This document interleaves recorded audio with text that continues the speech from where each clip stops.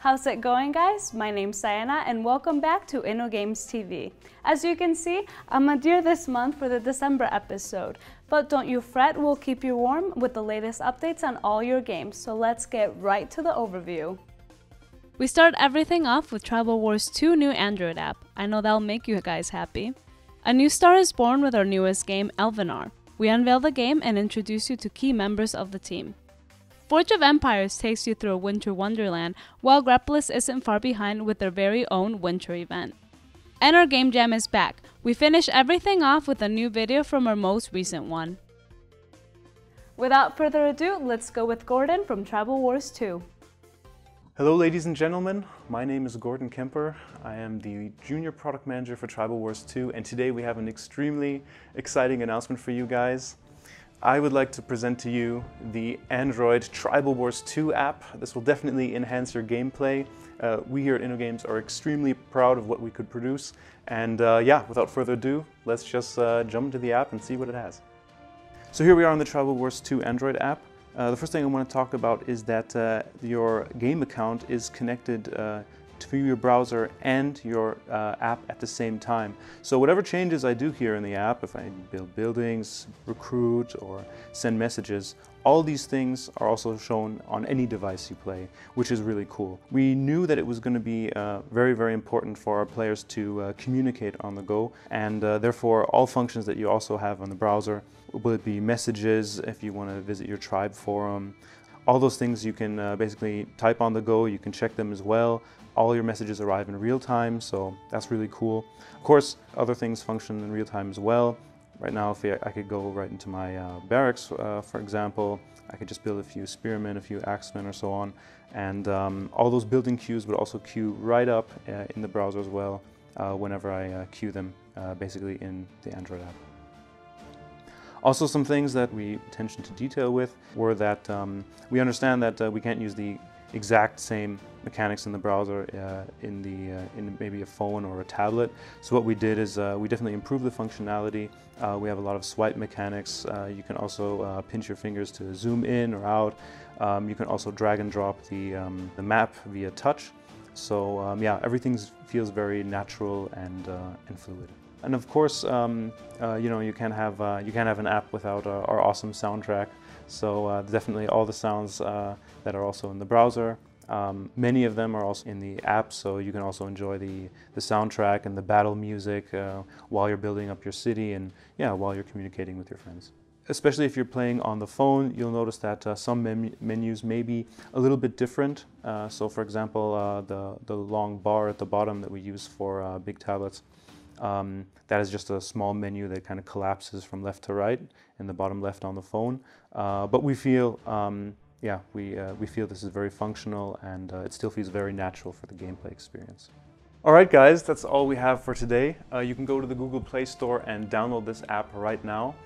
Uh, thanks so much for your support and feedback. Uh, we've been working really hard on this and we, would like to see what you guys think of you know, our product. Um, and for all you people who are using iOS devices, don't worry, we have not forgot you uh, working on that too, and uh, that'll come in the near future. Thanks a lot for supporting us, and goodbye. Damn it, you humans. Oh, I'm sorry guys. I'm just super excited about our newest game, Elvenar. Timon and Oliver from the team will show you our newest game. Hey folks, my name's Timon. I'm one of the game designers of Elvenar, and this is Oliver. He's a UI artist and today we are going to take a first look at our new city builder. In Elvenar you can either play the human race or the elven race. The races have completely different looks, but the gameplay is pretty similar, so don't be too afraid to pick your choice. At the beginning, buildings are constructed in no time, but they are also rather simple and basic. Over time, by unlocking new technologies, you can upgrade your buildings step by step to become more advanced and sophisticated. If you need a break from building your city, go onto the world map to visit other players, scout your environment and take a look into all kinds of mysterious provinces filled with friends and foes, challenges and rewards. Everything you do on the world map will help your town to develop, to grow and to become even more beautiful. Alright, thanks Timon. I think even I learned something about our game today. So I'm here to talk about the art design and we'll step right into it. As Timon mentioned, the world of Elvenar inhabits two different races. The elves are a very sophisticated folk. They live in harmony with nature rather than superseding it.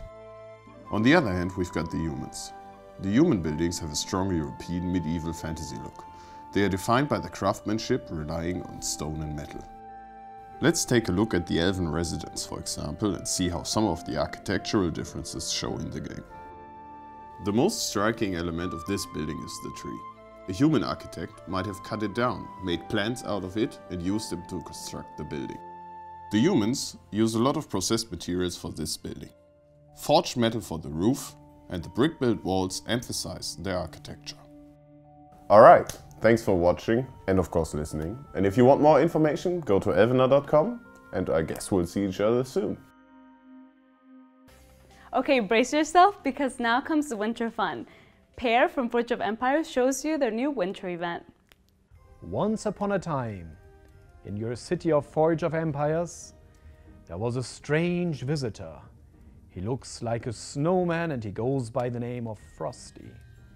Frosty has a new task for you every day. You see your quest giver Frosty up here among the other quest givers. He is there with a new quest for you every day.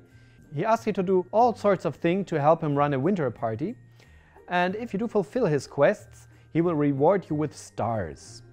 And these stars you can take into here, into the winter event window. And when you click start, all your presents get shuffled. There you go, and now you start opening. Uh, opening a present costs 10 stars, and every present reveals a great reward for you. You can find um, coins, supplies, you can find buildings, and every day there is a special reward hidden among your presents. You can go on and open as many presents as you want and as many presents as you have stars for. However, there are a few special tiles hidden among your presents, like uh, the Show 2, which reveals the contents of two other presents, so it kind of allows you a sneak peek into the presents. Here you see uh, they get highlighted with a red ribbon on the side. Those are kind of like the ones where you can look inside and you can still decide if you want to open them or not, or at what time you want to open them. Then there is the double payout. The double payout doubles what you get from the next reward you open. So if you get a building, you get two buildings. If you get uh, a couple of coins, you get twice the amount. And if you get stars, yes, there's also stars in the presents, you get twice the amount. Last but not least, there is the uh, Shuffle All button, which basically sets the whole um, presence back to the beginning of the day, right? So you can press the start button again, everything gets shuffled and hidden again, and you can uh, start opening your presents again. The winter event will be available for all of the winter time starting at 1st of December until the beginning of next year. And uh, there is a new set of presents for you every day. There is a new daily quest for you. Um, if you don't manage to do a quest uh, one day, don't worry. Um, they will stack up so you can do them the next days. And at the very end of the quest line, you have the chance to upgrade a confectionery if you have a confectionery in your city. Um, don't worry, you have plenty of occasions to win a confectionery among the presents. And in the end, if you have one, you can sell it and get a upgraded version for it, the large confectionery.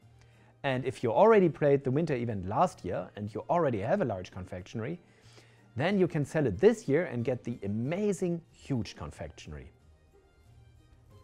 Alright, Fo-Ho-Ho fans, that's it for now. I wish you a happy winter time and many presents. Grepolis fans, you thought game designers would leave winter out? Nah, neither did I. Let's see what Marcel has to say about their new winter event. Hey there, I am Marcel, one of the game designers behind Grepolis. This time I would like to give you a brief overview of our upcoming winter event. Tyche, the goddess of fortune, will make an appearance again, just like last year. She will be rewarding every day you worship her during the festive season.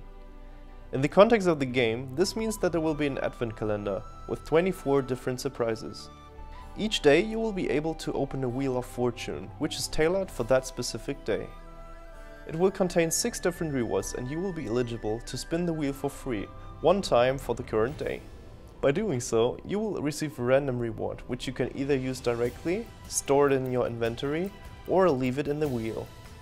You can claim the rewards you earned as long as the event is active. If you didn't get the reward you were hoping to get, you can spin the wheel again by spending some gold. And we have also included a new option this year, the possibility to refill a wheel. So, once you have obtained all the desired rewards, you can refill the wheel with some gold, which will also grant you another spin. In each wheel, there will also be one shard. In case you are lucky and collect 5 shards, you'll get all 5 advisors for one week for free. As a little surprise, we will introduce 4 new rituals with this event. 5 rituals had already been introduced with the recent Halloween event. Curious to know what these rituals do? Then stay tuned to find out how they change some of the existing divine powers. One last note regarding the event. Every first spin of a wheel unlocks a new decoration on the scene, until you have a beautifully decorated snowball.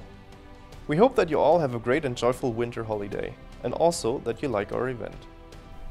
One final announcement. This is the last time that I will be presenting something to you, our Grepolis players, because I'll move on to a new, still secret game project. I've really enjoyed my time with all of you that make up the Grepolis community, and I already know that I will be missing you. Goodbye and conquer some fellow players for me. We'll miss you, Marcel. But now on to Tribal Wars' new game page. Hey guys, I'm Tobias, Product Marketing Manager of Tribal Wars. And today I would like to tell you some details about an early Christmas present we have in store for you.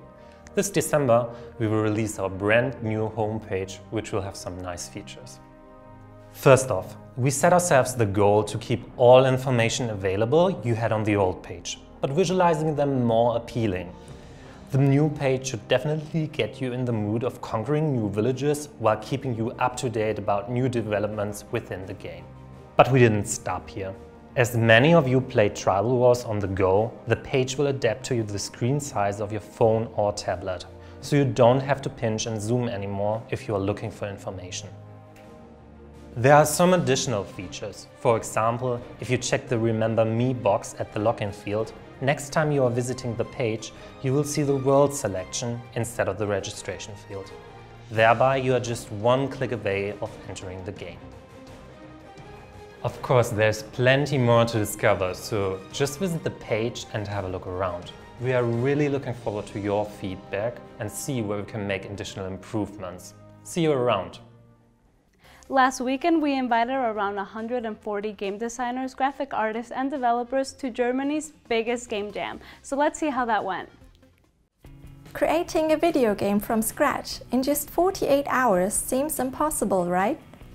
Well, at Germany's biggest game jam, 140 participants from all over the country took their chance. And, as Walt Disney already said, it's kind of fun to do the impossible. The theme for this game jam. I think it's a great idea to, to use a quote from a person like that for a topic of a game jam. After the participants formed teams containing developers, graphic artists, sound designers and game designers, they began brainstorming. Some teams took quite a while before they could start working on their game though. We were, I guess, brainstorming for about 10 hours. So yeah, we had quite a long concept phase. Then the first team started sketching, developed 3D graphics, or drew their game's characters. There are a lot of creative people out here, like artists, developers, sound designers, game designers, and you can really feel the creativity in the air.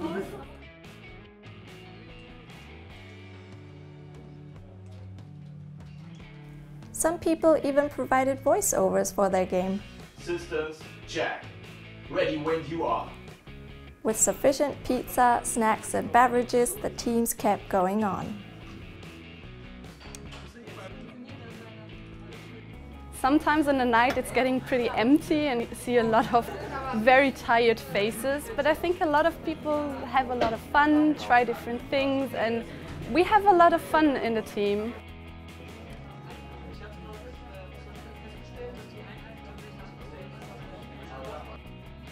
Here and there, the first impressions of some games could already be seen. Sunday morning, some teams were already finished, while others tried to fix the last bugs in their games. Only 10 minutes were left for finishing touches. Others used that time to catch up on sleep or had a go at the pinball machine. Then, after 48 hours, time was over. Each of the 26 teams had a few minutes to present their games. Although there were many great results, Team Effin Awesome earned the most laughs and awes for their fun multitasking game Hectopus. The judges Niklas and Christopher were also impressed as the developers used their own engine to code the game. Yeah! The next InnoGames Game Jam will be part of the Global Game Jam, which takes place from the 23rd until the 25th of January. Check the link below for more information. Well guys, that's it for this month's episode. If you liked what you saw, don't forget to subscribe to our YouTube channel and follow us on Facebook and Twitter. We'll make sure to bring you the latest news on all our games. And bundle up, stay warm, and see us next time. Bye!